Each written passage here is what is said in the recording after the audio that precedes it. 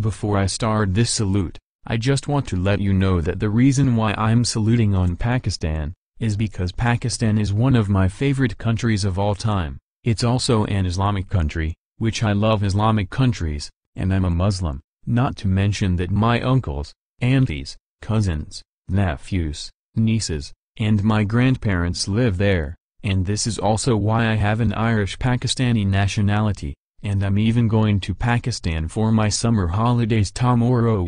So today, I'm going to be saluting on Pakistan, if you hate this country, I can handle your opinion, but don't rant on it and don't tell me you hate it, because that will be very offensive racist to those who live there, but anyways, let's start the salute, shall we? Pakistan has got to be one of the most fantastic countries I've ever been to, I will tell you the reasons why I love this country. 1. It has a cool flag. 2. It has an awesome national anthem. 3. It has cool towns, cities, deserts, buildings, and other kinds of places. 4. The weather in this country is extremely hot. 5. The weather is sunny out there. 6. My family members live there, and they have cool houses to live in. 7. The population of this country is so high and most of them are Muslims, which I'm a Muslim too. 8. It has cool cities, like Islamabad, Lahore, Faisalabad, and more.